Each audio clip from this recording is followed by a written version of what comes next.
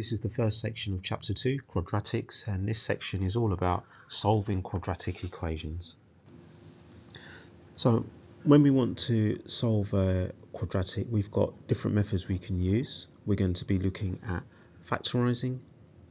Um, we can complete the square um, and then make x a subject. Now we may be given uh, an equation where the square has already been completed, in which case we just need to make x the subject. And we can also use the quadratic formula. Now, if you've got the ClassWiz FX991EX calculator, you can also use your calculator to um, solve quadratics to solve.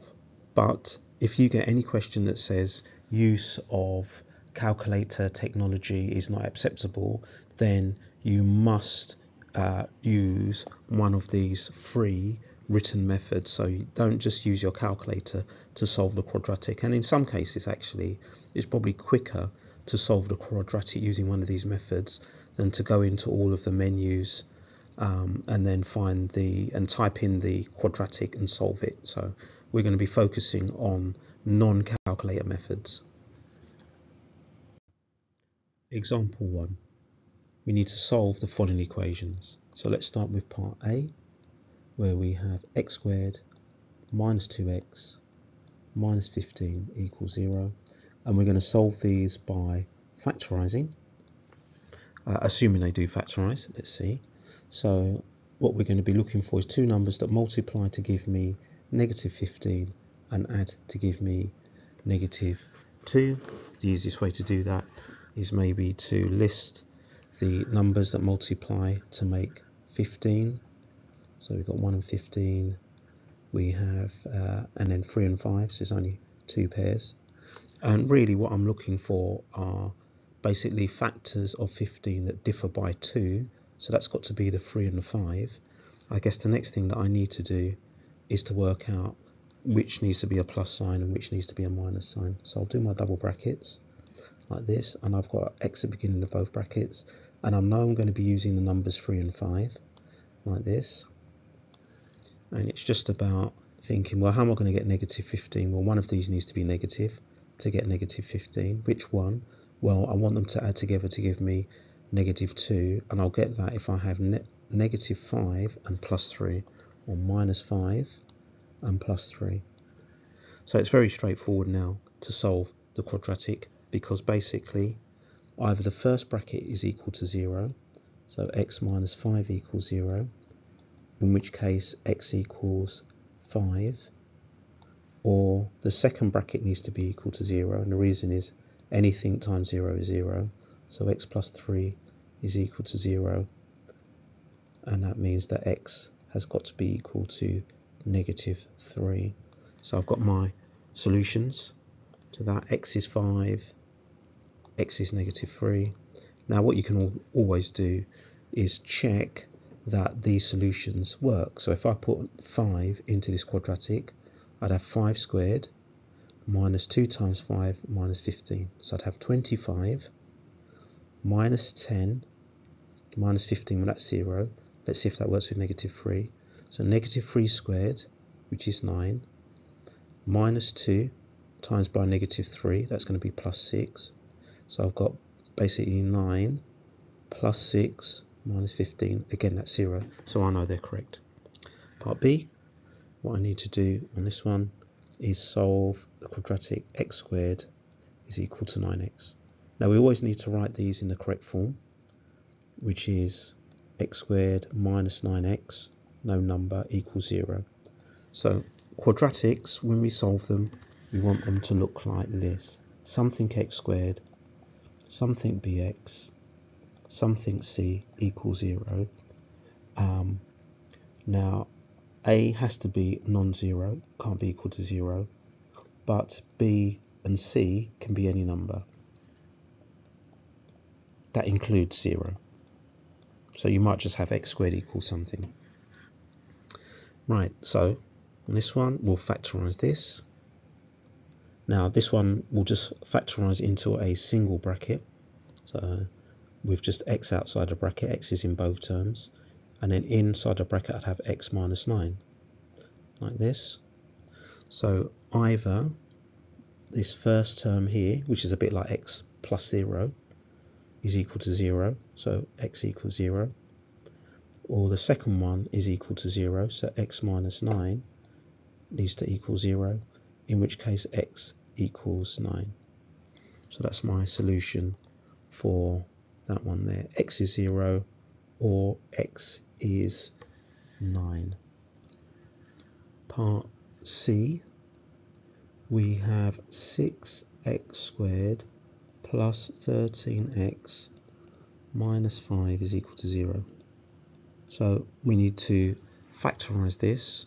Now this is the sort of more tricky method. So the first thing that I need to do is to multiply the first and the last number. So that's going to be 6 times by negative 5, which gives me negative 30. So now I'm trying to find two numbers that multiply to give me negative 30 and add to give me 15. Oh, sorry, 13.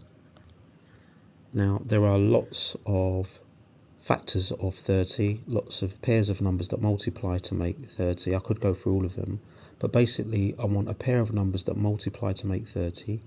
We'll worry about the negative in a moment, where the difference between those two numbers is 13. So those two numbers have got to be 15 and 2.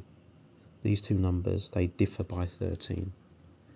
I want these two numbers, when I multiply them, to give me negative 30, so one of them needs to be a negative, and I want plus 13, so one's a positive. So that means positive 15 and negative 2. They multiply to give me negative 30, and they will add to give me 13. Now, I do the first step of my factorization. So I put 6x at the beginning of both brackets because I've got 6x squared. I put in the numbers plus 15 and minus 2. Then I need to simplify it, simplify the brackets if I can. So the first bracket, I can divide both of the numbers by 3. Always look for the largest number you can divide them by. Second bracket, I can divide both of them by 2. So that will give me 2x plus 5 in the first bracket. And the second bracket, 3x minus 1. So now that's factorised. So either my first bracket has got to equal 0, so 2x plus 5 equals 0. That will be 2x is equal to negative 5, which gives x is equal to minus 5 over 2. I'll leave it as a fraction like that. Second bracket, so if that equals 0, 3x minus 1 equals 0. That's 3x is equal to 1. x is equal to a third. Again, leave it as a fraction. So those are my two solutions. X is negative 5 over 2. x is equal to a third. And lastly, uh, D, example D here, we've got x squared minus 5x plus 18 is equal to 2 plus 3x. So I've got to get it in the right format. I need it all to equal 0. So I will subtract 3x from both sides. So that gives me x squared minus 8x, taking away 3x from both sides. Subtract 2 from both sides, and that will give me plus 16 is equal to 0. So that's in the correct format. Two numbers that multiply to give me 16 and add to give me negative 8. So I need to think about pairs of numbers that multiply to make 16 and two of those numbers need to have a difference of 8 and in that case it would have to be 4 and 4. Now they can have a difference of 8 if they both have the same sign, or they can give me a sum of 8. That would be better to say. So if I make them, make them both negative 4, they will both add together to give me negative 8 and multiply to give me 16. So it will factorise and look like this. So x minus 4, x minus 4. Now we're multiplying something by itself, so we can write it like this, x minus 4 all squared is equal to 0. Now when it's in this form, what we can do is just rearrange and make x the subject. We could actually, just from this part here, get our solution. yeah x minus 4 equals 0 so that means that x equals 4 so we could get our solution straight from that or if we wrote it in this form then we rearrange and make x the subject so we square root both sides so that'd be x minus 4 is equal to the square root of 0 or plus or minus 0 actually it doesn't make any difference in this case and then add 4 to both sides, again we're going to get the same solution. So it doesn't matter which way you do it.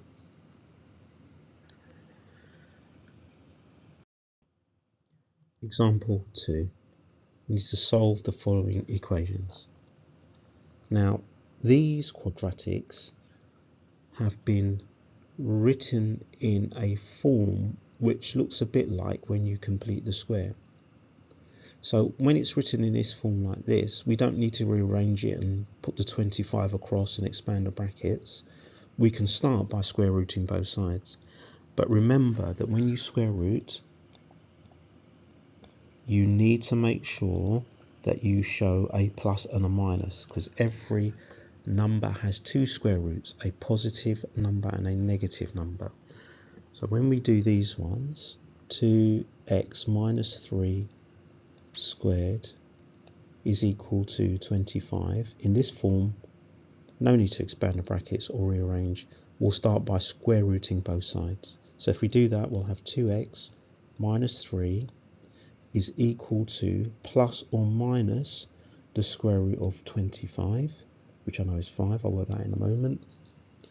Then add 3 to both sides. So I'm just making x the subject. 2x is equal to negative 3 plus or minus the square root of 25 and divide both sides by 2 x is equal to negative 3 plus or minus the square root of 25 over 2 so let's simplify that so we know that the square root of 25 is 5 so I'll have negative 3 and I'm either adding 5 or taking away 5 divided by 2 so let's now work out what those two numbers are. If I've got negative 3 and I add 5, that's going to be 2, and 2 divided by 2 is 1. That's one solution. Then the other solution, I'm going to do negative 3 take away 5, which is negative 8, and negative 8 divided by 2 is negative 4.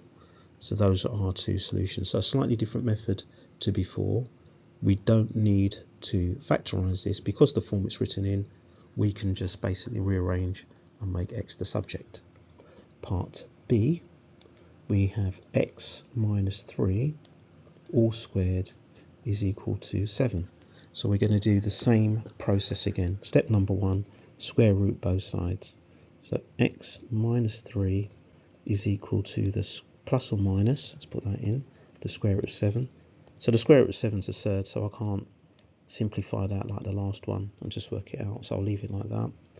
Then I will add 3 to both sides.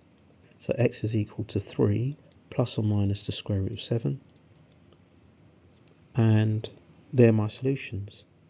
Don't need to do anything else. So x is equal to 3 plus root 7 or x is equal to 3 minus root 7 me just highlight those.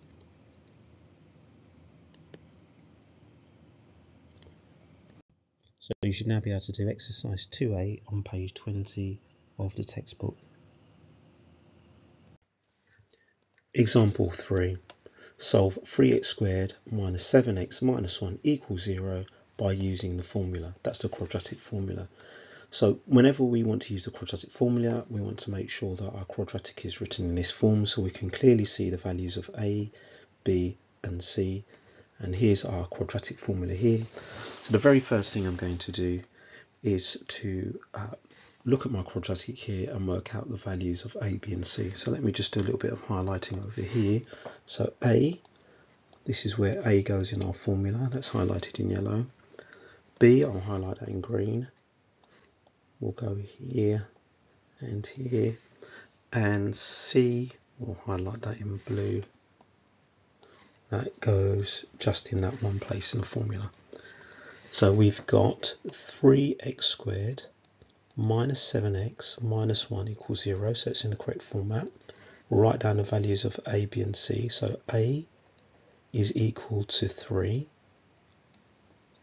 b is equal to negative 7, so be careful, it's not 7, it's negative 7, and c is going to equal to negative 1.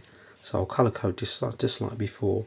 So A is going to be yellow, B green, that's a negative 7, and the C blue, negative 1, so I can see where they need to go. So the next step is just to substitute these into the quadratic formula. So I have negative, negative 7, so be careful with that. It's always a minus in front of b, and here b is negative 7, plus or minus the square root of b squared. Now b is negative 7, so it's negative 7 squared. My little tip would always to put negative numbers in brackets, especially when you do this on your calculator. If you don't put in your brackets, your calculator will get confused. And then it's minus 4 times by a, which is 3, times by c, which is negative 1. So again, I'm going to put that in brackets. And all of that needs to be divided by 2a or 2 times 3. So let's simplify this and see what we get. So negative, uh, minus 7 is just going to be 7 plus 7 plus or minus. And then um, I've got negative 7 squared which is 49 and then I've got 4 times 3 times by negative 1 which is minus 12 um, so I'm going to be subtracting negative 12 so minus negative 12 so you know you'll be adding that and that's all over 2 times 3 which is 6 so from there I'll have 7 plus or minus the square root of 49 plus 12 which is going to be 61 all over 6 now, in terms of simplifying it, I can't simplify it, but I'm going to write down what my two roots are from here. So x is equal to 7 plus root 61 over 6, or x can be equal to 7 minus root 61 over 6. That root 61 can't be simplified. Um, so we'll just leave that as it is, root 61. Now, often on these questions, we'd maybe want to write our answer as a decimal. It doesn't say so, but um, it may say write your answer to, let's say, three significant figures or three decimal places. I'm going to give my answers to three significant figures. So I'm going to use my calculator just to convert these to decimals. So the first root um, that is 2.46 I don't know why I put 4 again 4 6 I'm going to write down lots of decimal places here 8 3 7 4 and so on. So to three significant figures that's what I'm going to round it to 2.47 so I'll put down that I've rounded that to three significant figures. So this is going to be part of my answer either exact with the surd or as a decimal. And then if I take the second one which is the 7 minus root 61 over 6 um, long decimal there is negative 0.135046 and it carries on.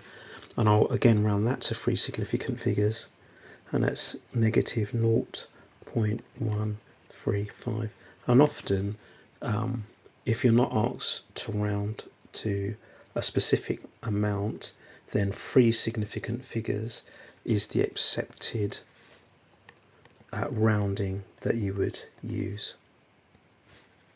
So let's just uh, highlight the rest of that. So you should now be able to do exercise 2b. That's on pages 21 to 22 of the textbook.